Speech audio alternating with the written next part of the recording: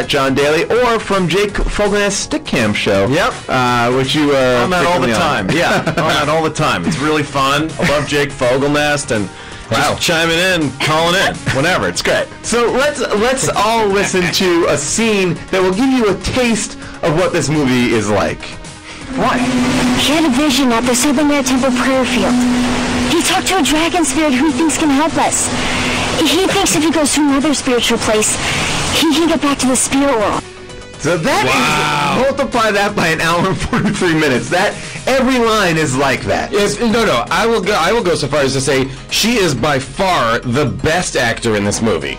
The girl who plays that part is Yes. Phenomenal. She is the Meryl Streep of this movie compared to everybody else, including Well, now- Slumdog Millionaire. So, you know what I think happened though with the kid who's playing the avatar? I think because his physicality, you guys, his physicality was pretty great. Physicality. Yes, just I did think they just Chi. cast him off of yeah. Wait, being you know how he got do- cast?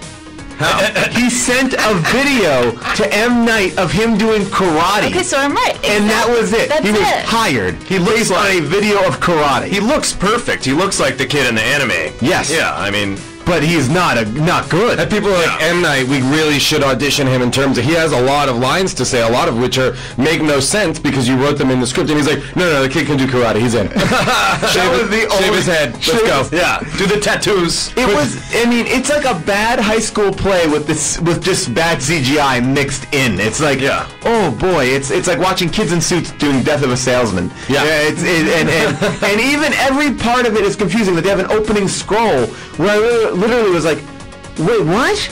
Well, I didn't even understand the setup of the movie, and then they continue to set it up every five more minutes, and I don't understand it. Well, you've got like you've got the kind of it is a classic hero's journey kind of Star Wars type of thing, except that where Star Wars goes to great lengths to make it really base simple. Like mm-hmm. he is the chosen one, he's got to learn to use the Force, blah blah. blah. This every step of the way, this movie is so confusing and adds so many layers of like, why do they need to even? Why they've all forgotten how to use powers? Who bends this and what? And that last Airbender who can do everything actually can only bend air. Right. He hasn't learned yet how to be, Well, bend but it's also Setting not up a even trilogy, not yeah. even about the story of a kid who's like trying to understand his powers, because at some points it's about these other kids who meet this kid who's trying to understand his powers. One of whom in the waterbed. She's the waterbender. Yes, the waterbender. And uh, Who is not good at water bending. she's not right? good. She's She- terrible. She's a fool at it. She's terrible She at it. She freezes water. Yeah, which yeah. is weird too. Except for when she is good. Yeah. All of a Yeah. sudden, Because with they- no explanation. No, they find the scroll. Remember? Yeah. The Her scroll, mom- you guys, I don't remember. The scroll looked like an old 1950s, like this is how you dance the cha-cha thing. It literally like I was like arms here, arms go down here, leg goes. It was like it was. It's Basically, hilarious. it's basically if you do enough Tai Chi, the water, earth, or fire around you will go into a ball right next to you, and then it'll shoot. Sometimes you have to do more Tai Chi. Sometimes you have to do less. That's the thing that was crazy to me. I was like, the, you would think that people would just like do some sort of move and like whatever would fire or air would shoot up, but they have to do elaborate moves, elaborate like Yeah. like like eight seconds of like hand motion, hand motion, this, that, the other, and then a little bit of water shoots up and it's like, Yeah. Well, it's, like, it's like watching uh, extended Lord of the Dance scenes, but then they're fight scenes. But the other thing was, sometimes that last Airbender is amazing at air. Like he's pulling in air from everywhere, flipping over boats, and then the next thing he's like, poof, just knocking down people. Yeah. He's not like it's it, it, it makes no sense. Here's Sometimes the he's thing. wrong, sometimes he's not. You control air. You're fighting people who need there to be fire around. Yeah. To to hurl fire, right? They can't conjure Maybe. fire. They need to have But- it be but there. at the end, blow it out. can. Blow out the fire. Yeah, with your air. With your air, dum Fair dum. point. Or with the water Fair that point. you have at your disposal. It is like Fair a point. terrible game of rock, paper, and scissors. It's like Yeah. water beats fire, but fire beats air, but Yeah. air kind of helps fire. Yeah. But then there's also more than just their hands because at one point, I think in the Earth section, when they go to the Earth colony, I don't know if I'm using any of the right words. There's The a one that's shed filled with full- Asians? yes. He's kicks yes, fire. There's a shed full of tools. Yeah. What were those tools for? Who knows? Yeah, those, those are airbender tools. But here, just Why, I, I want to talk why about would the, they need them? I want. Yeah, there was no reason to have tools. They just shot things that were already organic. Here's something. why? Was some of the movie Asian, some of the Well, movie this is a Indian. huge controversy. Fire- Yeah, Fire well, was- this is a huge. The, the, this the this movie had like a huge controversy associated with it. There was uh, called it was like race bending, which was they whitewashed everybody in the cast. Like in like it's inexplicable that the the water people are white. They are Eskimos. Yes. Right. They are Eskimos. They are white. They are white. Like how white. One of the kids looks like Pauly D. He looks like Yes. a mini Pauly D. and like their nana literally looks like um, like a Connecticut grandma. She has an English accent. But then there are in their village straight Eskimos. Yes. yeah. Like, like- Right, they, they, they, with no rhyme or reason. My favorite line is the Slumdog Millionaire shows up in their village and is like, "Bring me your elderly." Which ne- never explained why the elderly why was. does he bring me your elderly? Because I think it's because they assume the last Airbender, the Avatar, Oh. would be old by now. Got it. So they're oh. looking for an old man. They don't realize it's a boy. He was encased in ice for a hundred years for yeah for a hundred years. with like Snuffleupagus, this Yeah. like scary It's the dog. dog from Neverending Story. yeah, but it was a beaver with a beaver tail. Yeah. Yes. and it floated. Because when when they okay, so basically they're walking in the in the wilderness and they see this giant snow globe. It cracks open and there's the boy laying inside of it, clearly like trapped in a snow globe, and he's like passed out, like uh uh. And the and the observation that the older boy makes is like, oh, he's probably exhausted. Yeah, yeah. What? He was just trapped in a ball of beaming light. Why was he exhausted? What are you Yeah. talking about? He's not sleeping. You just opened a conical sphere of ice to reveal a boy and, and an a giant enormous dog. beaver. Uh, they're not- just- the dog is so huge. tuckered It's out. so huge. Apparently, they fly on that dog.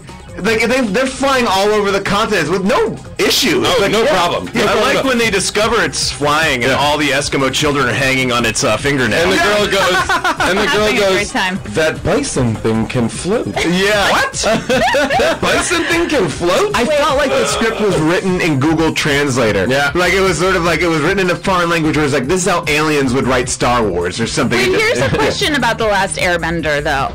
When he was a young, when he was a young child and found out who he was, a baby bender? a baby bender. Baby bender. When he's a little bender. they told him that he couldn't have a family if he was an Yeah. uh, an, the, An last the last airbender. airbender. And that bumped But him out. That Yeah. bumped him out. But but was he thinking I can't have any children or? No, he just wanted to have like thinking, he wanted to have a nine have to a five job. dad. No, he wanted a nine to five job, and he wanted to come home to his wife like and have kids.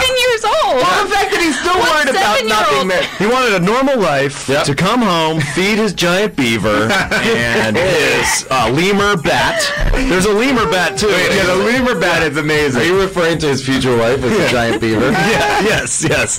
Future wife as a giant beaver, which he tai chi's open. Now, there he throughout the movie he is being chased by the fire continent's military. Oh, they're bad. They're bad. They're bad. Aasif Mandvi. Yes, who and they are the brownest. Uh, this is very of, like, the, brownest. the race craziness is that the bad guys are the brownest, and everybody else is But like M Night super Shyamalan white. is the brownest. Ugh, I mean, he's a he's a know. you know he's, he's the race of the Yeah. right, right? Yes, yeah. The, well, who knows? I don't wanna in this be weird racist. world. But I mean, the, the military Yeah. guy at one point literally says like, "These are the toughest military guys," and he literally goes like, "Ow, that really hurt!" like he got hit, he got hit in the face, and he's Yeah. like complaining like a baby, like, "Oh, you hurt my face." Well, the exposition too. My favorite moment is when Slumdog Millionaire is telling his uncle, I Yes. think, Slumdog Millionaire is why the he guy. left. Yeah, why he left the kingdom and why he's a banished prince. And Just to so get this out, knows, we're not calling an Indian actor on the show Slumdog Millionaire. It's It literally the kid Slumdog Slumdog Millionaire. Millionaire. Yeah, yeah, yeah. So to get this information out, he calls, and maybe I saw this wrong, but he calls a girl over to tell the story,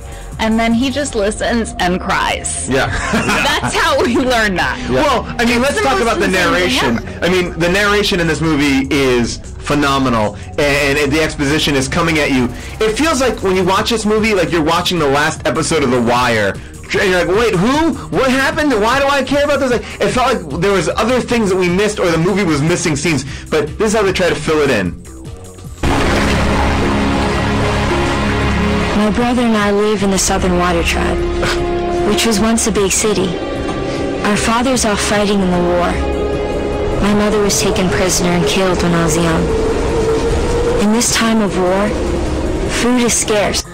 That is a new, that's so much exposition in a moment there. Yeah, and that the whole movie is full of that. And it's not limited to moments of voiceover. Like she talks like that. Okay. People have conversations like that, Yeah. like in dialogue, which is It's like video game editing. It's like it's like everyone speaking like I am a soldier and I come here to give you food. Would you like to eat some of my food? you know what? It's like it's exactly it's a cutscene from a video game where it's like you you kill the boss, you go to a scene, and it's like, well, looks like Rakoff got away. You're gonna have to go to Minsk in order to fight him. He's holed up in a no ex-nuclear waste dump. You're gonna have to sneak in by cover of night, and they give you the whole next level. That's what this movie is like. Yeah, yeah, yeah. We're go, you know, we're going up to the Northern Water people to learn the the dragon fairies and. Ah. were, were the fight scenes to you interesting? They were not too interesting. they were they were like uh, so so they would do tai chi. They would conjure a thing, then they would throw it, and it would just like nothing would happen. Like it was so badly done. Even the crazy CGI, like the crazy stuff they put into it, like had no effect. What about when when they were escaping uh, some sort of village and the last Airbender pull like now you eh, again at certain points he pulls in some things, other points he pulls in a lot, and at this point he pulls in a lot, and he gets like a big wave of fog to come over this bridge, and then like all the soldiers like oh well we can't go over this bridge in fog.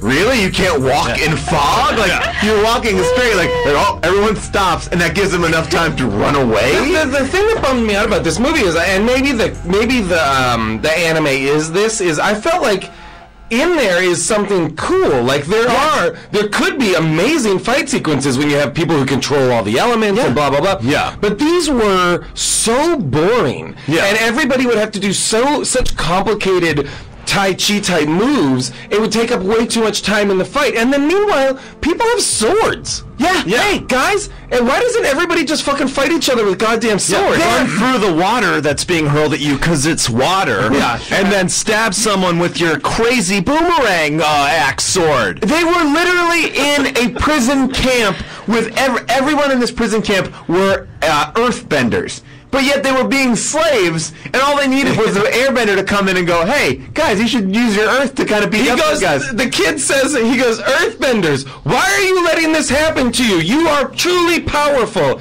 and amazing people. He, like, he says they are amazing people, like he's giving them a pep talk. It was, it was to me. It's like it really was like they were in a prison camp, and they're all like, "Well, uh, we shouldn't use our." Special powers that we all have in this prison camp to defeat our guards that keep us in a level of misery. Yeah. Eh, well, just they were like nice, nice about it. Like, oh, we're Yeah. caught fair and square. Can't Yeah. use our powers. Yeah, yeah, yeah. They're Earth people. They're bound to the Earth. I felt like that sequence was was a pretty deep analogy for the Holocaust. Um, if you, if there is Here a, we go. Oh, yeah. Speaking of Holocaust, I thought I thought you know they, uh, at the very end of the movie the, there was a uh, a huge uh, what's it called a tsunami that the kid conjures. I was Yeah. like, hey, too soon. Yeah, Way too exactly. soon. You You know, know, Way like, too did soon. you did you know about the tsunami? M Night Shyamalan, Yeah. a ding dongs.